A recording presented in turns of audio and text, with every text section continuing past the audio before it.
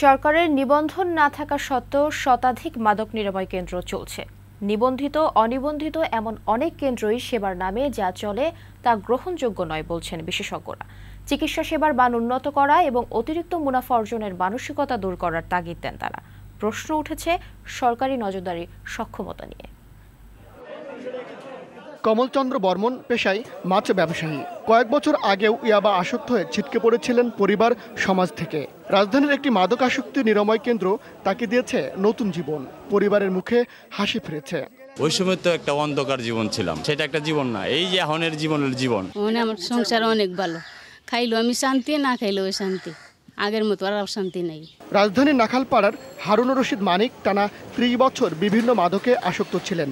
মাদক আসক্তি নিরাময় কেন্দ্র থেকে চিকিৎসা নিয়ে দুহাজার এগারো সাল থেকে সুস্থ জীবনে ফিরেছেন। ব্যবসা করছেন সুনামের সাথে। বৈশাখে টেলিভিশনকে বললেন দুঃসাহ মাদকাসক্ত জীবনের কথা। ড্রাগসের মানে এতটা অধপতন হয়েছে তখন ঘরের কথা হইল যে মানে বোন ভাইকে পরিচয় দিবে এটাও তাদের কাছে একটা মানে লজ্জাজনক অবস্থা। বাবা মা তো বলতেছে যে না আমাদের কোনো সন্তান নাই।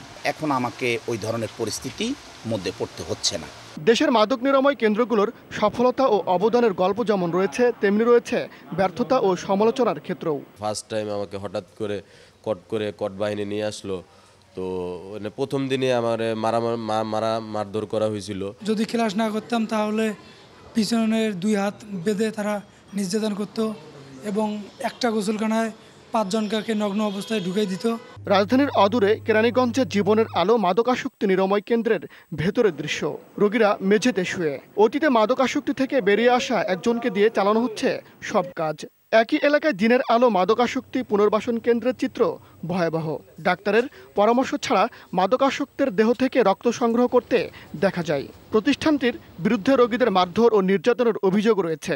ব্যবস্থাপনা পরিচালকের কণ্ঠে তার সত্যতাও মেলে। বিশেষ করে মনে করেন যদি কোনো অপরাধ হয় বেতন দুই একটা বাড়ি দিতে হয় ভাই। কাউন্সিলিং করি বলতে এখন তো কাউন্সিলর এই মুহূর্তে নাই। তার বিপরীতে আমি আছি এখন। মোহাম্মদপুরে দুটি মাদকাসক্তি নিরাময় কেন্দ্রের চিত্র একই। ঠাসাঠাসি করে রাখা হচ্ছে রোগীদের। রুমের মধ্যেই চলছে ধূমপান। প্রশ্ন উঠেছে নজরদারি নিয়ে। এটি এক ধরনের প্রতারণা অপচিকিৎসা এবং এর মধ্য দিয়ে কিন্তু মাদকাসক্ত নিরাময় না হয়ে মাদকের বিস্তার আরও বেশি বেশি হচ্ছে। এই সমস্ত জিনিস কিন্তু একজন ডাক্তার বা মনোরোগ বিশেষজ্ঞ যেমন বুঝবেন অন্যদের পক্ষে সেরকম বোঝা কিন্তু কষ্টকর। কিছু কিছু নিরাময় কেন্দ্রের মধ্যে ত্রুটি বিচ্ছুতি আছে, তখন আমরা ত্রুটি সংশোধনের জন্য তাদেরকে নির্দেশনা দিই।